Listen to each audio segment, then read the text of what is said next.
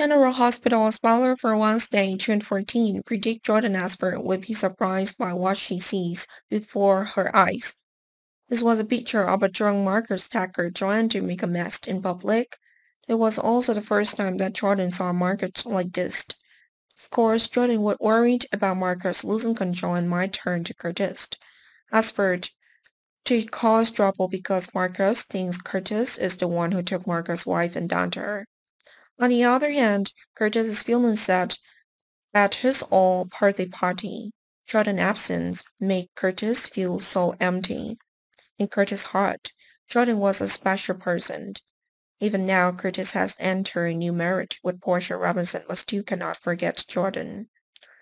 It is a fact that Curtis only reconnected with Portia because of her child, Trina Robinson, and this marriage in the name of husband and wife is completely devoid of affection from Curtis.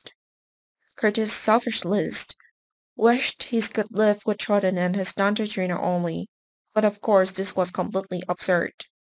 As for Sasha Gilmore, she is slowly recovering. So soon Sasha will have a serious talk with her mother-in-law Gladys Corbin about not needing a guardian anymore, but with established control on her own finance. Sasha thinks that she has called Gladys too much pain in the past time and wants to help her mother-in-law stop thinking too much. But such a decision will make Gladys more worried and her face will also become unsightly. Sasha is quite surprised by her mother-in-law's unusual attitude and will decide to investigate what happened to Gladys.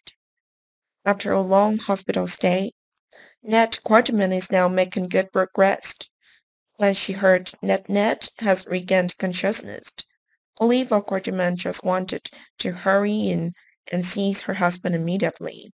But TJ Ashford might refuse that to let Nat's relative come to see Nat at this time, because net need to be examined again after waking up. Many predict that net will have memory problem and may forget some things from the past because of the concussions after the accident. The suspect who assaulted Internet Jurgen is still trying to prove his innocence. Luck wasn't come to June when the footage of the security camera in the Metro building is released. This is a time when Drew is vindicated at the same time, Drew will have a confrontation with the person who has always tried to accuse Drew, which is Tracy Quartermaine.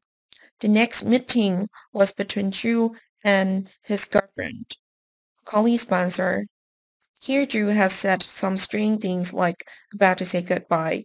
Carly suspects this conversation is related to insider trading and it is possible that Drew will confess to all guilt.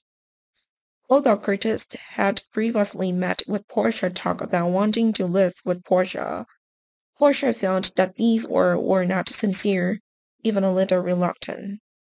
Maybe Portia will soon realize that the person Curtis still loves is still Jordan.